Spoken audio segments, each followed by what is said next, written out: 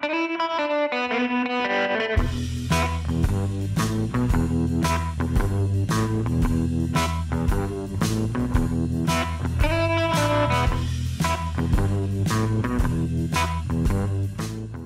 this is Brian Casey from the Imaging Wire. We are here at RSNA 2024, and we are here with Robert Lauritzen. He is CEO of Cerebriu. Robert, thanks so much for being with us. Thank you, Brian, for having this interview. You bet. So, can you tell us a little bit about Cerebriu and uh, what you guys do? Yeah, sure. Uh, so Cerebriu is a radiology AI company that specializes in workflow automation for MRI systems. Mm-hmm.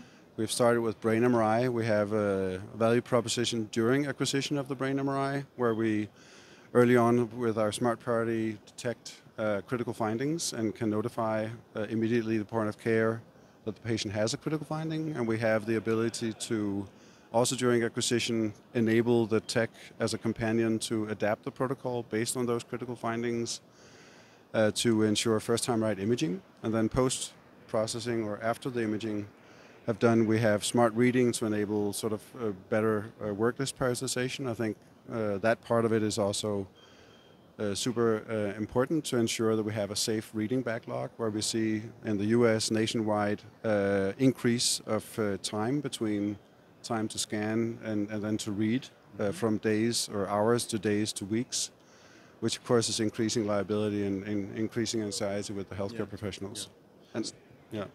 So your product is something that can alert the, the MRI technologist in real time that, that maybe uh, protocols need to be adjusted a little bit for the patient? Exactly. So if the patient is uh, has a you know non-specific headache, uh, comes in and, and it you know there's an actual tumor, and you're doing a non-contrast uh, routine brain MRI, you would want to not wait for three weeks for a recall to do a brain MRI with a tumor protocol. So we're enabling here the tech. Um, the ability to uh, to contact and get support and, and, approval for running a tumor protocol immediately while the pa- patient's on the table. Wow, that sounds like it could be really impactful. So, what, what are some of the, the milestones that the company has seen this year?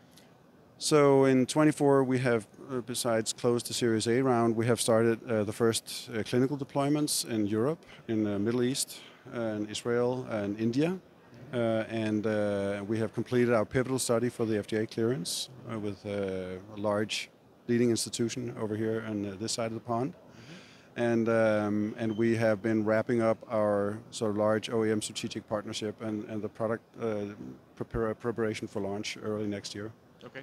And um, do you plan to sell these products directly, or do you have relationships with other companies as well? So we do some direct sales, but we're actually focusing a lot on the AI uh, platforms for distribution of smart reading. So we do have this safe backlog concept is not necessarily on the device, and uh, and for the uh, on-device stuff, we are partnering with the OEMs. Okay, very good. What are you highlighting here at RSNA? So we're highlighting uh, the safe backlog, reading backlog, as one of the sort of easy to start value propositions. Uh, it's definitely a problem in Europe. It's definitely a problem in the U.S. and we see it at growing volumes all over the place. Neuroimaging uh, escal- you know, escalating out of bounds. So this is the the main storyline of the the smart reading product. Yeah. Okay. Very good. And what can we expect to see from Cerebriu in uh, 2025? So besides uh, a major launch early in the year around ECR, uh, we will be uh, disclosing some of the coming uh, contrast media technology uh, and the partnerships with with Qure and deepc.